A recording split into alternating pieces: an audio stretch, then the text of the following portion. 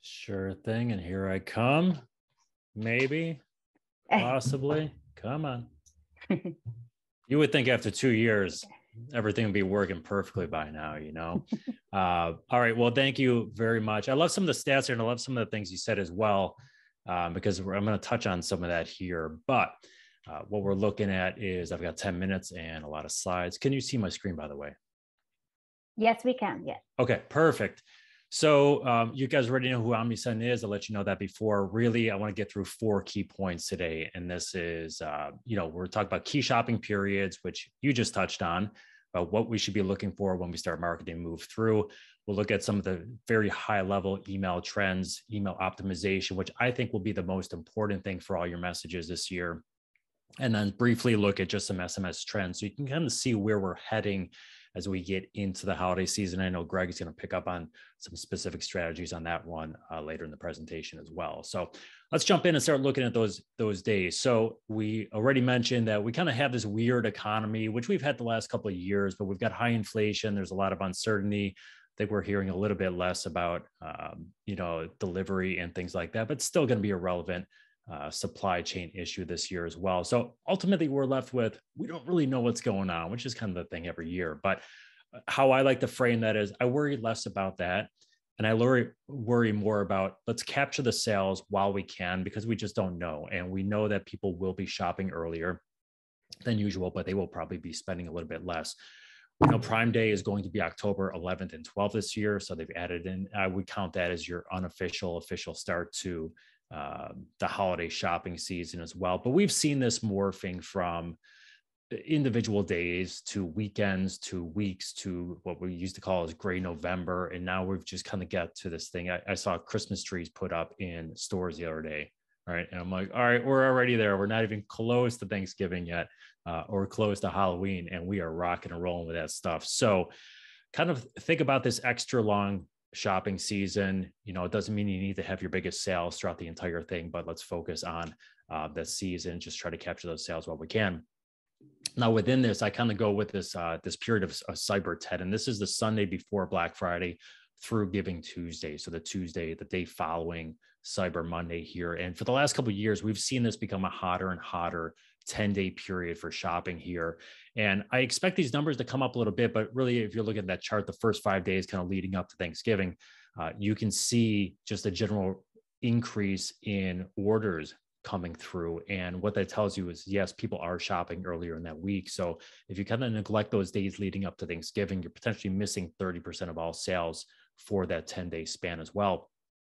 We kind of see the same thing happen from a email send standpoint. So the left hand side these are your scheduled sends that you're sending out. You can see those kind of increase and they they kind of peak at black friday and then drop down a little bit for cyber monday. But from an automated send standpoint which are going to be your behavior based messages the ones that only send when the user takes an action like visiting the website or signing up for an email program probably to get that discount or abandoning a cart.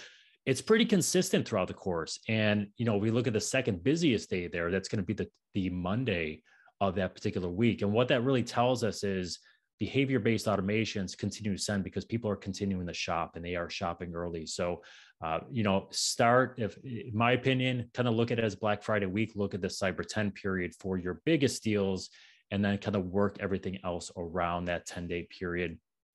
And that's where I would go with it.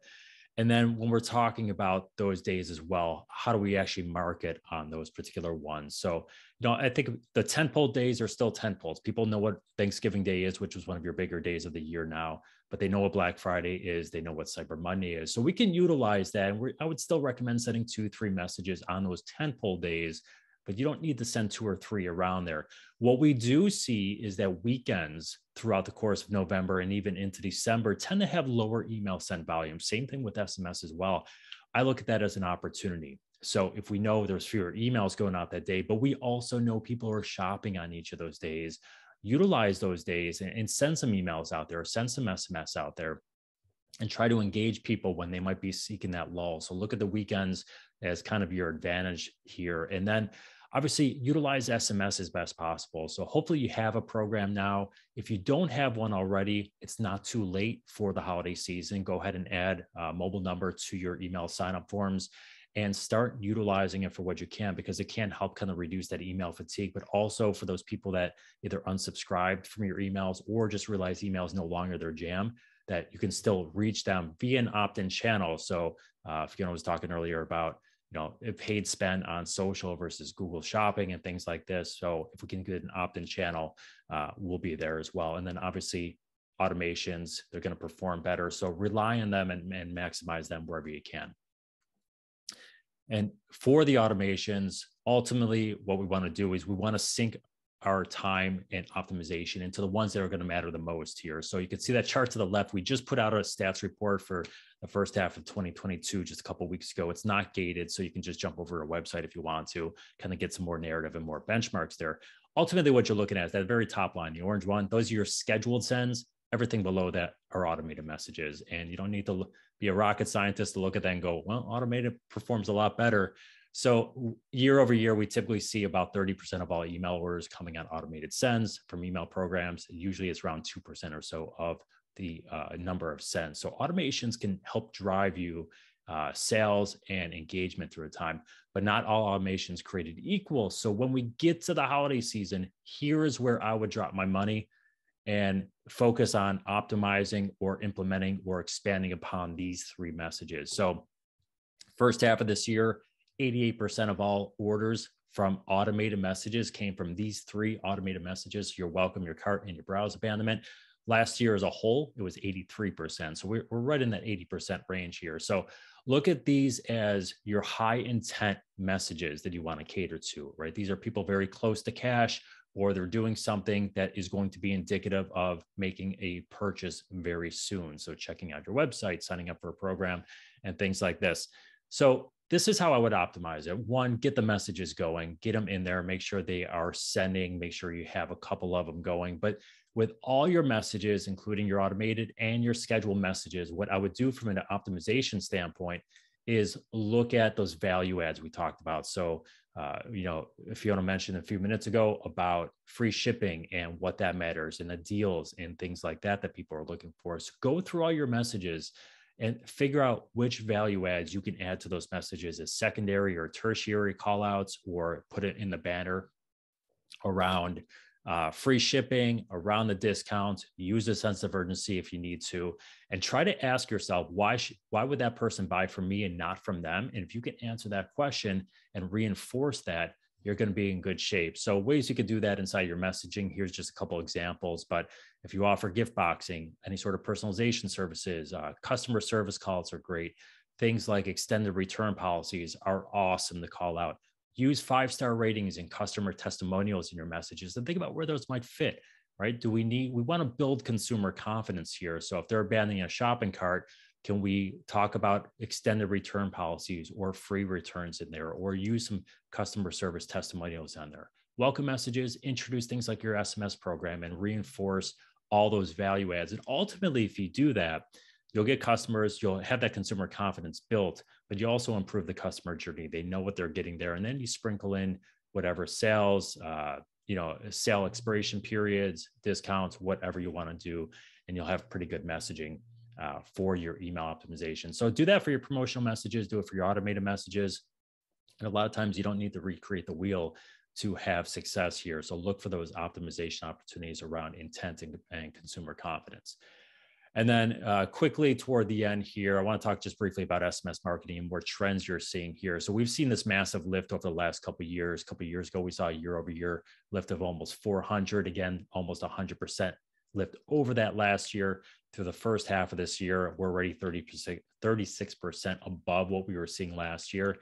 And if you look to the right side of the screen there, you can see last year there was this huge uptick in the use of automated SMS. And I think brands are looking at automated emails and going, well, they perform pretty good here. What can we do from the SMS side? And now we have the ability through platforms like Omnisend, where we can put all these different channels into a singular workflow. So we can have one workflow that says, okay, you're an email only subscriber, you get this series, your email and SMS, we can customize this path for you. Your uh, SMS only, we can deliver this for you. And we make these things work together, and the SMS becomes a complementary channel as opposed to only a standalone channel for you. So uh, what you could see on that right side of the screen there, you might go eh, 10% down in automation for the first half of the year. And I think what we've seen is it just rose so massively last year. And brands are now figuring out how to do this a little bit better. So even though the automated sends are down 10% year over year for the first half, 18% more orders came in from that uh, set of sends year over year, and conversion rates have almost doubled. They increased 42% year over year for those automated SMS as well. So we know people are engaging with them. They're still extremely popular and effective, and it is an opt in channel. So they can always opt out if they want to, but that's going to be really important as well.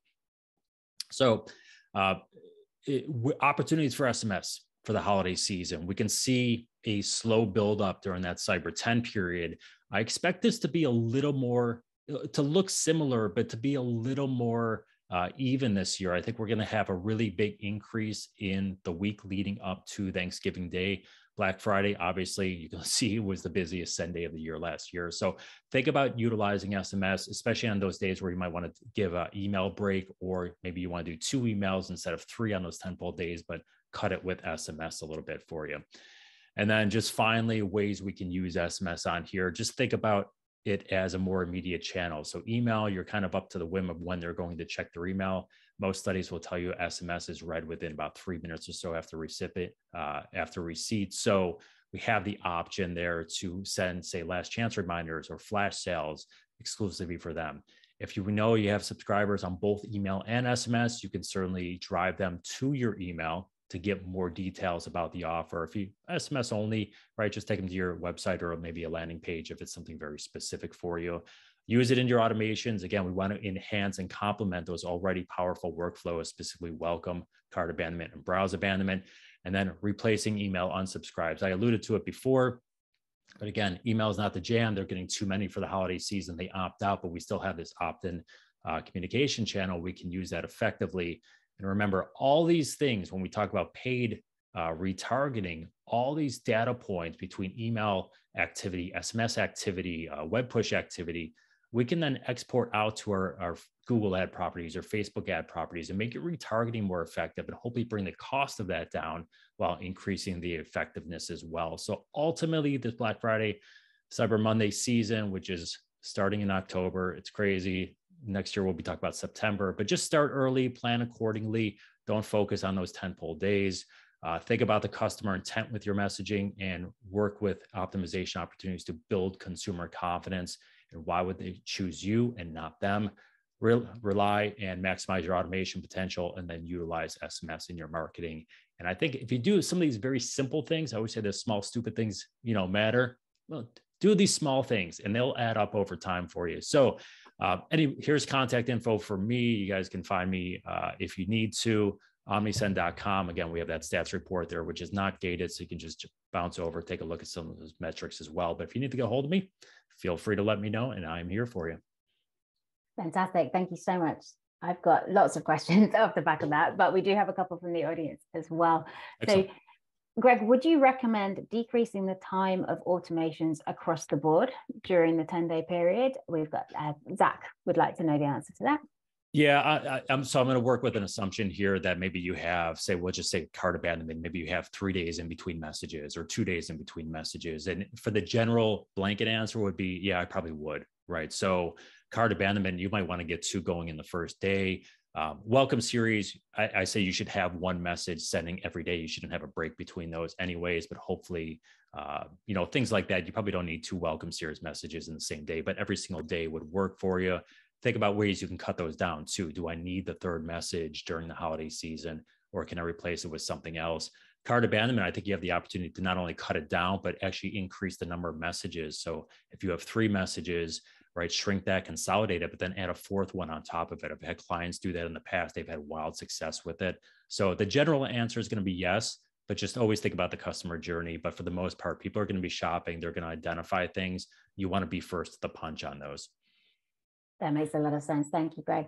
And, and our second question for you is from Jennifer. Actually, I love this question. I think it's it's a really interesting one. Um, it's easy to get overwhelmed with the copywriting aspect of marketing. Can you recommend any kind of resources where someone can go to get inspiration on how to write those SMS or email messages?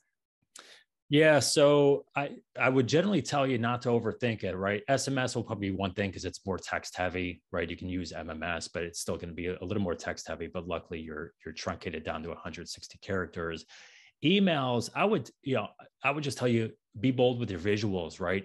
That's what people are going to be scanning so much quicker during the season as, as well. So don't feel you have to write a paragraph. Don't feel you have to write a story, right? Use the visuals to kind of convey that. So hopefully it's better.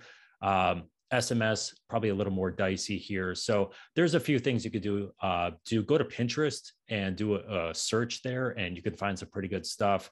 Um, really good emails and really, I think it's really good text, which is their sister website has a bunch of SMS messages and resources where you can kind of browse around and see what other people are doing as well.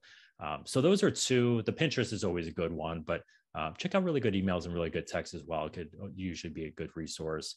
And then um, the one thing that marketers will always go to is Milled. So M I L L E D.com. That's kind of the email uh, aggregation site as well. So you could always check those out. But uh, that's probably where I would start. Fantastic. That's really great advice. Thank you, Greg. Uh, my answer would have been include puns wherever you can, but that's not the right answer. So I love puns. I think it, you know, short, snappy messages, they can work. But, um, yeah.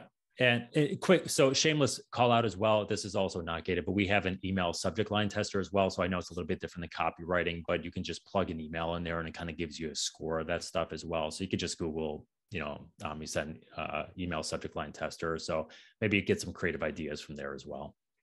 Oh, brilliant. Really interesting. Thank you so much, Greg. Uh, before we let you go, just to announce our Omnisend prize giving prize winner is Andrew Didrik Pitts, and you will be winning a um, a taster kit from Toak Chocolate. So um, congratulations, we'll be in touch with that. Thank you very much, Greg. We'll um, let you go and move straight on to Krista over at ShipBob.